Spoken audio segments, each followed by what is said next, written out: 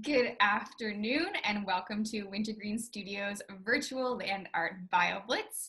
You are at the Lessons in a Backpack session with Kelly McGann. Thank you so much for being here. My name is Jess Pilo and I am a project coordinator at Wintergreen Studios and I'm your video host for today. And now I am very happy to introduce our final speaker of the day. We are joined by Kelly McGann, who is the program manager for the Frontenac Arch Biosphere Network. And Kelly is here to introduce the Lessons in a Backpack program. She will share a video that she's put together that demonstrates how to use one of the lessons in a backpack, and then she will be available for a live Q&A. So welcome, Kelly. Thank you for having me.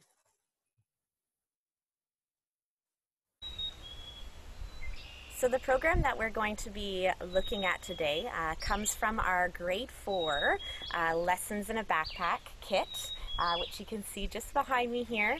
Um, we have lessons for grades two through grade six.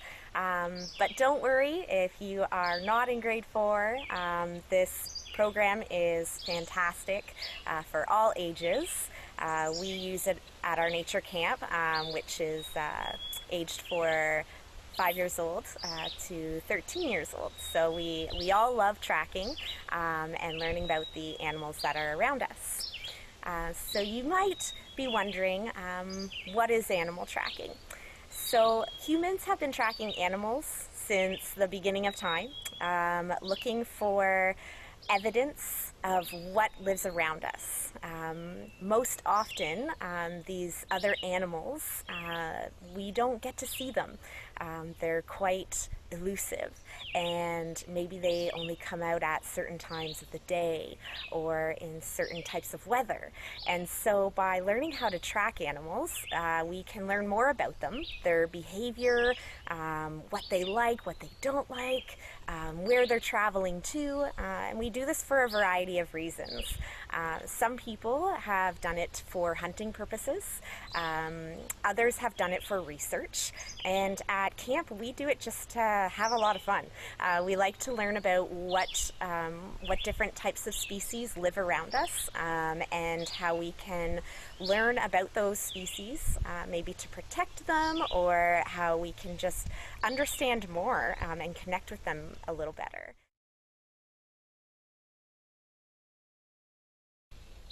So often, most of the activity uh, of animals happens outside of our view. So maybe it's happening at night, uh, maybe it's happening in the cover of trees like the ones we have behind us. Um, animals can be pretty elusive. So what tracking allows us to do or enables us to do is to learn about these animals, their secret lives, um, without disturbing them. So today we're going to look at how to track using animal prints. So the animal tracks themselves. Um, animals make all different types of prints. Um, in the earth, in the mud, in the sand, in the snow. Uh, fortunately, today uh, we don't have any snow, uh, so we'll be looking at tracks in, in other types of material. So you might be wondering, where do you start when reading an animal track? So there are four key categories that you can start to work in. Uh, one is the size of the animal track. Then you have how many toes does that animal track show? The shape of the animal track, as well as the gait pattern of the animal track that you are looking at. That's assuming that you can see multiple imprints um, in the sand or the mud or the snow. So when starting with size, we might as well start big. So here we have a black bear um, print. This black bear print is larger than my hand. So we would say that this is a large animal print. Then we have our medium size prints. So I have two here, the front and the back print of our friend the beaver. So beaver has a medium size print. And last but not least, we have our friend, the gray squirrel. This one's a little hard to see, so I'll bring it close to you. And that's because it's a small animal print. So if you don't have gray squirrels in your neighborhood, maybe you have chipmunks, black squirrels, red squirrels. All of these creatures and most rodents in North America have small animal tracks. Now we also said that you can look at the number of toes that the animal track shows you. We have a really handy guide at Nature Camp and you can probably find one like this at your local bookstore, um, or maybe you can order it online um, or print it off the internet. Um, and this guide helps us because it shows us all different animals that are found in North America that have two toes, three, four, or five. So we can also ID our animal friends uh, based on the gait pattern um, that their prints make. So our friend here the cottontail rabbit, is known as a galloper.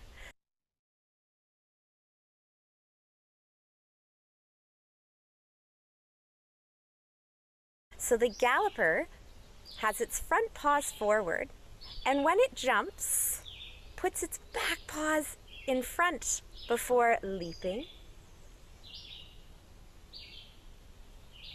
And most rodents are known as gallopers too. Another type of gait pattern are our diagonal walkers, such as our cats and our dogs. So here we have our friend the fox, who is a diagonal walker. Now this means that they move the front leg at the same time as they move the opposite back leg. Foxes are actually known to step almost directly into their front footprint as they move along. So sometimes it looks like there are only two feet, but there are actually four. They're just making use of that front foot pattern uh, to step into. This is helpful, especially in the snow. Have you ever wondered what it would be like to walk in another animal's footprints? Try walking like a fox, using both hands and both feet on the ground at the same time. And as you move your left hand forward, move your right foot at the same time. And then when you move your right hand, move your left foot. See if you can step directly into the print that your hands made. Now, our bodies aren't designed like a fox. They're not long and sleek. So if anything, it's just a really fun opportunity to see what it would feel like to be a fox.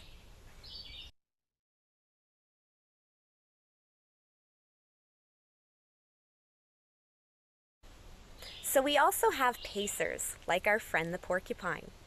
Other pacers might be skunks, raccoons, black bears, and they sort of shuffle along. They have bigger bodies, so they move side to side. Now, pacers can quickly turn into gallopers when they are trying to move somewhere quickly.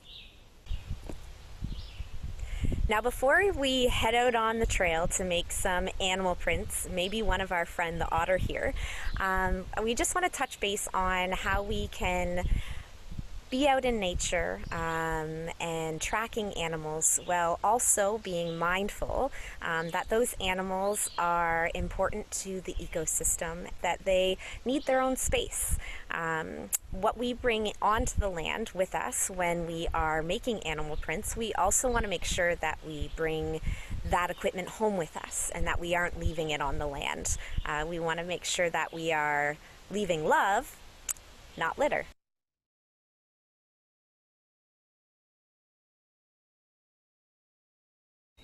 So there is no one way to make uh, an animal cast or an animal mold. Uh, we've tried a ton of different styles at camp. Um, sometimes they work really well, and sometimes beyond our control, they they fall apart. Um, we've learned a few tips and tricks along the way and over the years um, that we'd like to share with you. Um, sometimes we've done DIY plaster of Paris.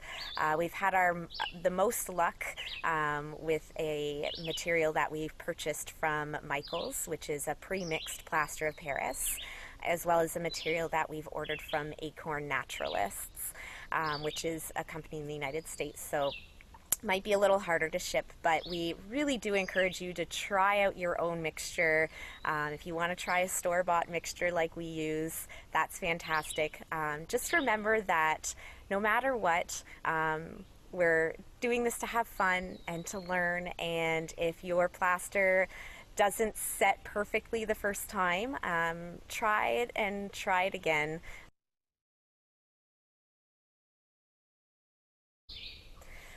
We're really fortunate at camp um, because we have these really wonderful molds. This one is the red fox. You can see has the four toes, sort of egg shaped. Um, it would be a medium size print and it looks pretty similar um, to if you have a dog at home um, to the print that your dog might leave in the mud um, or in the snow um, when it's walking through.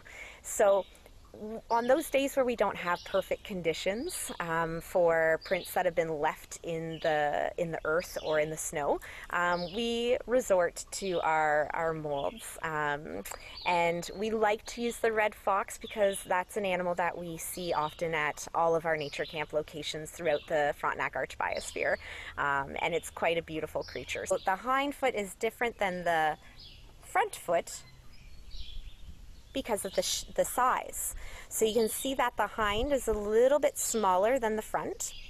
Um, earlier today I made some casts um, of the front and of the hind foot. So here we have the front. It's a little glary, I'm sorry. Um, and here we have the hind. Um, and so these have dried for over 24 hours. Um, so if you wanted to paint them, they're all ready to go. Um, so today for our um, animal cast that we are making, um, we are going to use the perfect ca- cast mixture, which is just behind me here um, in the blue bag. Um, this one we've purchased from Acorn Naturalist. Um, you can also order it off Amazon. Um, we have had really great luck with it. Uh, it it's sets really quickly. Um, within 24 hours, it's ready to be painted. Um, and we're looking for a product that can harden. Um, within the day of our camp so that the campers have something to bring home with them um, at the end of the day. We've also had really great luck with a product that you can get more locally um, at Michael's. Um, this one here, which is Craft Smart, um, it makes about the same amount of prints, so about 15 prints or so, um, and or casts.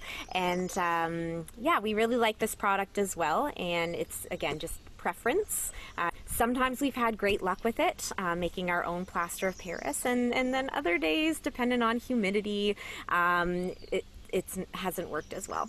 Um, so we're going to uh, get started, and I have already. Um, measured out our quantities. Uh, so with the perfect cast mixture, we're using one part water to three parts mixture.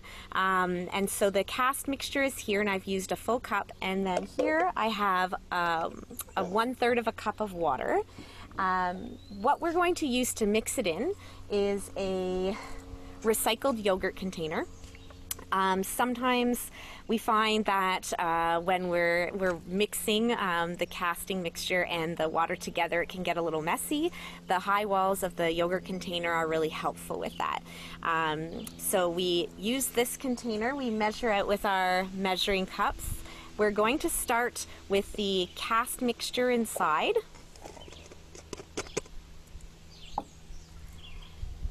And then I'm going to grab a popsicle stick. Uh, if you don't have a popsicle stick, uh, you can use a stick that you found outside or a spoon. Um, we have our water, and I'm going to add a little bit first. So just a little. So I've used maybe half of it. I'm going to start mixing it. Um, you should mix it for, you should find that you're having to mix it for about two minutes or so um, once you've added all the water. Um, so if you're if you're mixing and thinking you're not getting anywhere, um, just wait, be patient. Um, what we tried not to do is to add all the water at the beginning. Um, we've had some pretty um, wet casts made in the past. And especially when we are making them in the snow, um, because this uh, mixture will actually heat up as it is setting. Um, we found that if we make the mixture too thin, too runny, uh, that it just doesn't work very well for us. So add the water slowly. I've added about another half of the quantity that I have in total. Um, it's starting to get starting to get um, all mixed up and there's still some big clumps there so I want to make sure that I get those clumps out and just keep scraping the walls of the yogurt container as well as the bottom of the yogurt container um, and again, take your time. Um, it's not going to set on you um, in the container here, um, not right away anyway. So just keep mixing it around. And when you feel that it has sort of dried out again, try adding another half of the amount that you have in your cup or in your container. Oop. I'm sure you just saw that which is I've just sprayed this all over my clothes. So that's a great time um, to touch base on what you might want to be wearing. Um, so don't wear your favorite pants or shorts or shirt um, because there's a good chance that you're going to do what I just did, um, which is uh, get it all over yourself. so, uh, so we're looking pretty good here. Um, I'm going to show it to you it's looking a little a little runny, um, which is okay. It's not the end of the world. It's really hot outside right now too, um, which can definitely have an impact on our mixture. Um, so I'm going to show you the amount that is left in my um, in my measuring cup. So I have just a, a little bit of water left in there, and I'm not going to add it. Um, I am pretty happy with the consistency um, that I'm seeing here.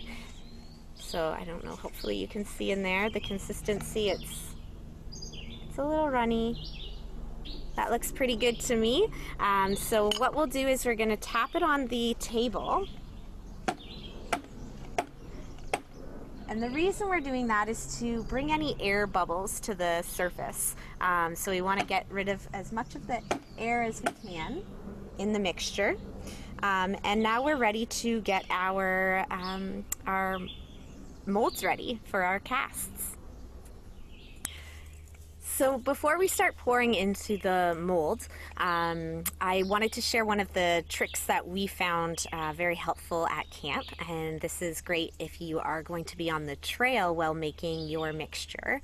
Um, rather than bringing a measuring cup out with us, uh, we measure the uh, cast mixture um, into a Ziploc bag. Um, sometimes we also will measure the water into a uh, water empty water bottle. Uh, that way, we don't have to carry around additional supplies with us when we're out on the trip.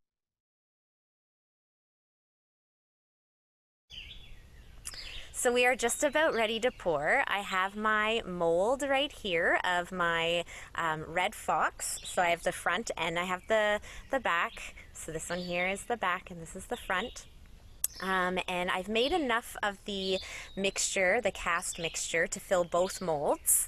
Um, if you're doing this out um, on the land, um, what you might want to consider is finding a print that is um, in in sort of soft earth. So if it's in the mud or if it be embankment, um, if it's in the snow, you'll want a print that doesn't go all the way down to the earth, um, as you're you're going to have to sort of scoop around the snow in order to lift your print out. Uh, so if it goes right down to the frozen earth, uh, you'll find it a little bit more challenging to, to scoop that print. So here I'm going to change the positioning of the camera so you can see how much we're going to put into this print. So just imagine if you're out on the trail um, that this impression has been found um, in this, the wet earth. Um, again, if the if the print has water in it, you're not going to want to use that one. Try and find one that's already dried out. So you can start to pour your mixture in, and you want to get into all those sort of deeper crevices so where the pad of the foot is. See here you can get the um, sort of the claw marks. And then you're going to want to fill a little over the print. See how it's sort of going over the edge of the print? So you want to go over the edge so that when you lift your print, um, you have a nice base to work from. So you don't have to worry about the toenail breaking off or little pieces breaking off because you have this, the edge um, sort of to, to safeguard that print.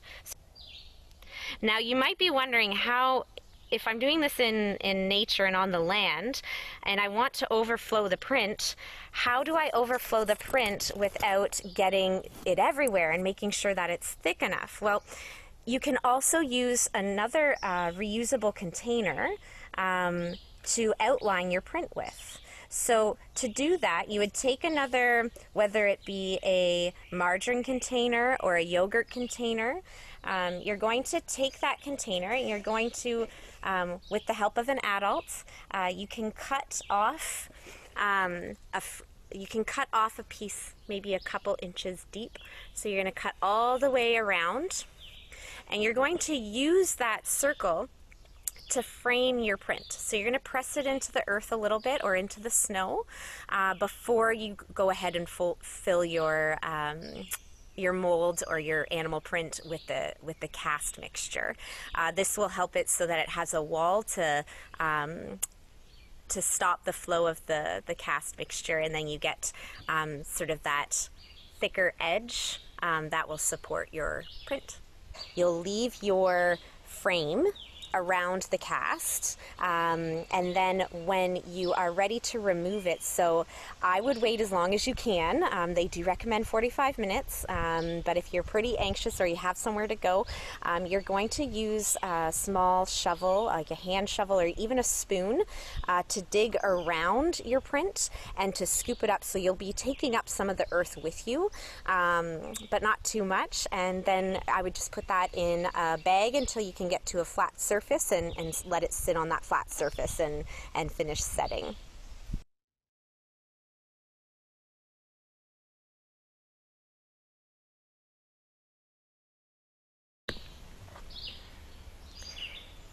Thank you for sharing this time with me, uh, for sharing this space at Mac Johnson Wildlife Area. I hope you've had fun learning about animal tracks and how to make your own animal casts.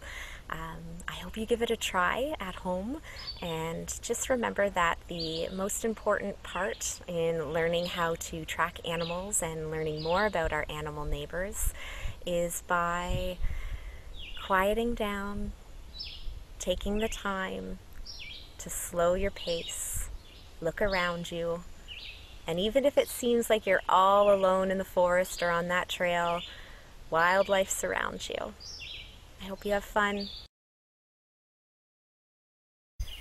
So that just about concludes our time with the Wintergreen Studio BioBlitz. Uh, if you would like to get more information on our Lessons in a Backpack program or the Fab Nature Camp program, uh, please feel free to reach out to us. You can find us at www.fabn.ca. All right, Kelly. Well, thank you so much for that video tutorial. That was very, very thorough, and I know I'm feeling inspired to do some casting in my own backyard. Um, it looks like we do have a couple of questions for you in the Q&A. Before we get to the Q&A, did you want to share anything more about the Frontenac Arch Biosphere Network or about your role at the at FabN before we continue? Sure. Um, so I am the program manager for the Fab Nature Camps. Um, the fa- family of Fab Nature Camps has three different locations. Um, one is where um, that video took place, uh, just north of Brockville, uh, which is in the Frontenac Arch Biosphere uh, Reserve or region.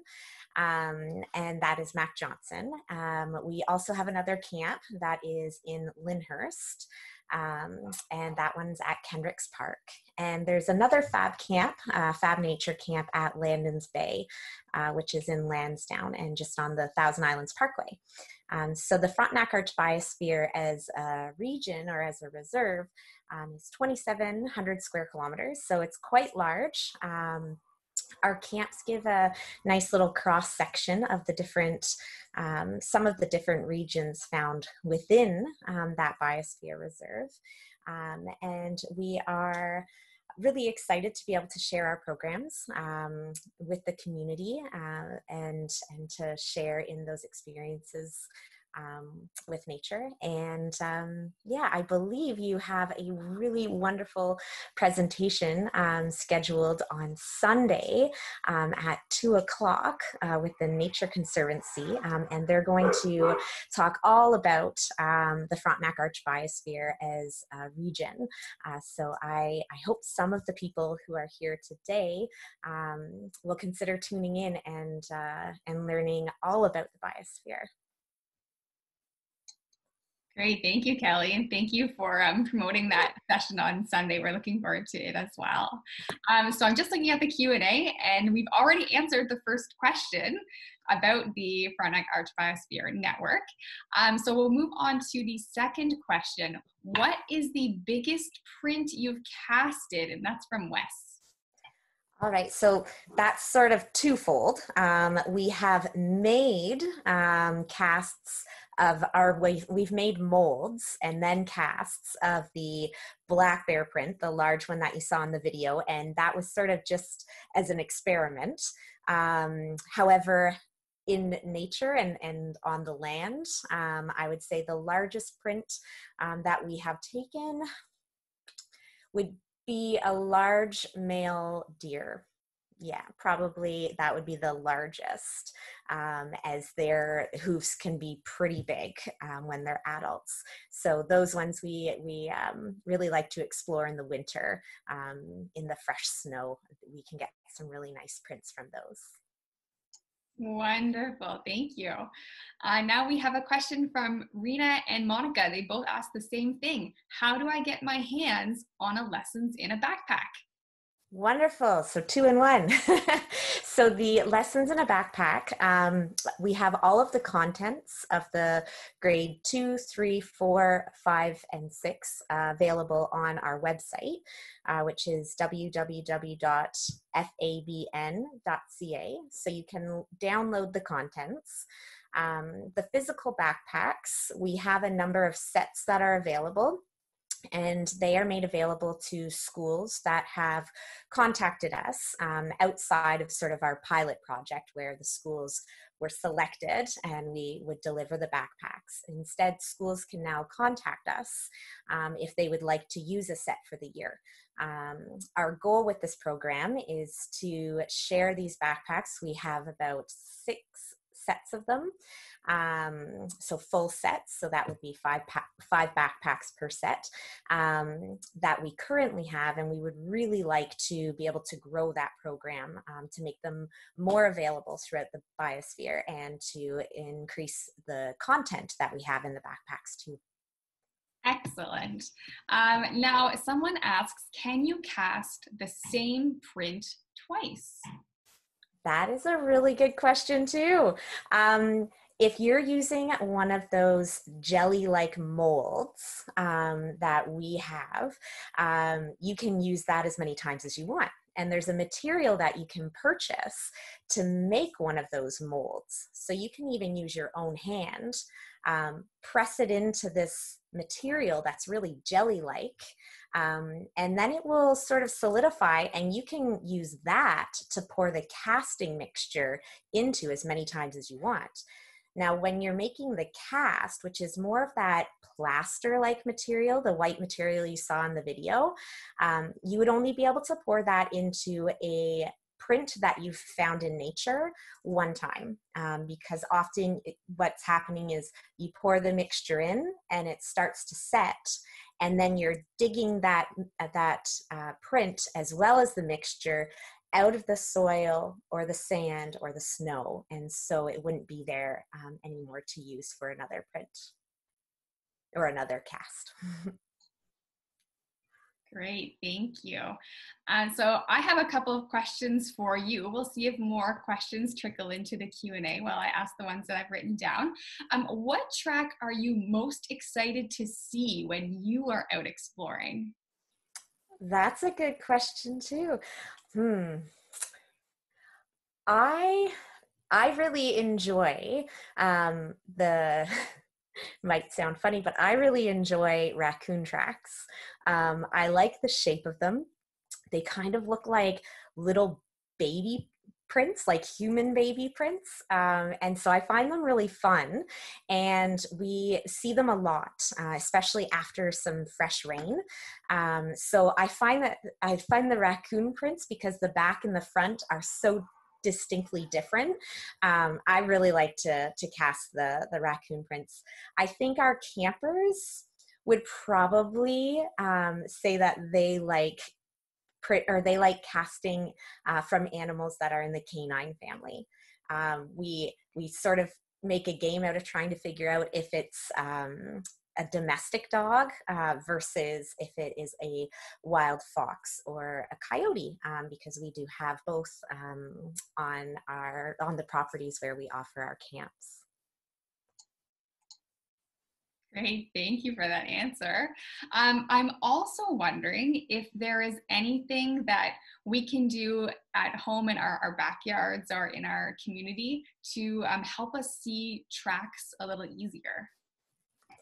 Yeah, I think that the first thing that we can do is, as I mentioned in the video, just really slow it down. Um, sometimes we're on such a mission to um, to exercise, or that you know we have 45 minutes for a walk or a wander, um, and because we're focused on that, we don't always look down and look around.